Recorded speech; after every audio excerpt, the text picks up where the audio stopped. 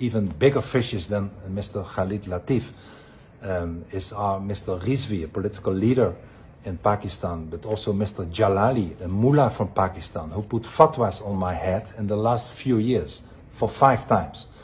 And those are, um, um, I believe, even more serious because um, I feel every day that people threatened to kill me because of their fatwa. So I hope now today that not only the Dutch prosecutor will also prosecute the mullah Jalali and